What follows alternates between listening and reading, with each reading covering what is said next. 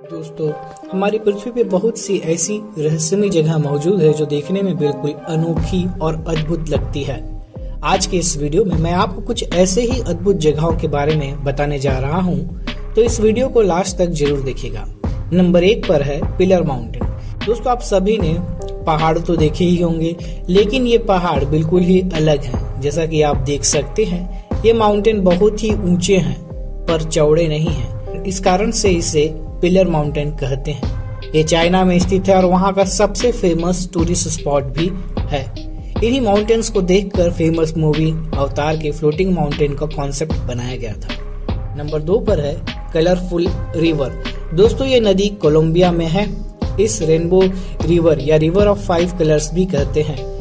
और वजह है इसका अलग अलग रंग का दिखाई देना। दोस्तों, वैसे तो इसका पानी नॉर्मल पानी की तरह ही है, पर इसका कलरफुल दिखने का राज इसमें पाए जाने वाले छोटे छोटे पौधे हैं, जो कि अलग अलग रंगों के हैं, जो कि इसको इतना खूबसूरत रंग देते हैं। नंबर तीन पर है आइस केव आइसलैंड की ये आइस केव दुनिया भर में इनकी खूबसूरती के लिए मशहूर है। दोस्तों, यहाँ साल भर बर्फ़ जमी रहती है, जो कि किसी पहाड़ के जैसे है। लेकिन इसके अंदर केव्स में जाने पर ये किसी क्रिस्टल बॉल की तरह खूबसूरत नज़र आती है। और जब सूरज की किरण इन पर पड़ती है तो अलग अलग रंग फॉर्म करती है।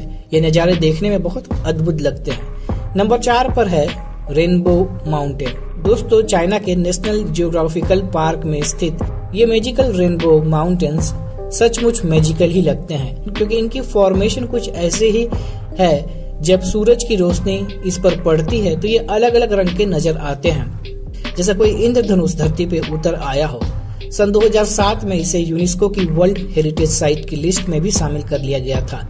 बारिश के मौसम में जब यहाँ घास उगती है तो ये और भी खूबसूरत दिखते हैं। ये रेनबो माउंटेन चाइना की सबसे पॉपुलर टूरिस्ट प्लेस में से एक है, जहाँ हर साल लाखों की संख्या में फॉरेनर्स भी आते हैं। नंबर पाँच पर है antelope canyons.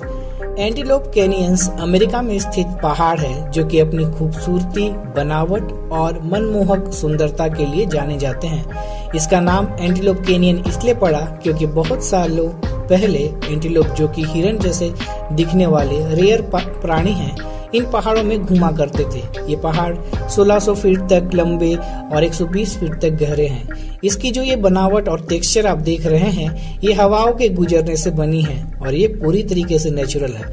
हर साल इनका टेक्सचर हवा और पानी के हिसाब से चेंज होता रहता है।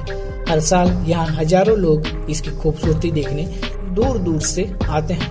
दोस्तों, अगर आपको ये वीडियो पसंद आई तो प्लीज़ इस वीडियो को लाइक कीजिएगा और इसी प्रकार के इंफॉर्मेटिव वीडियोस देखने के लिए मेरे चैनल को सब्सक्राइब करिएगा। आपसे मुलाकात होगी अगले वीडियो में, तब तक के लिए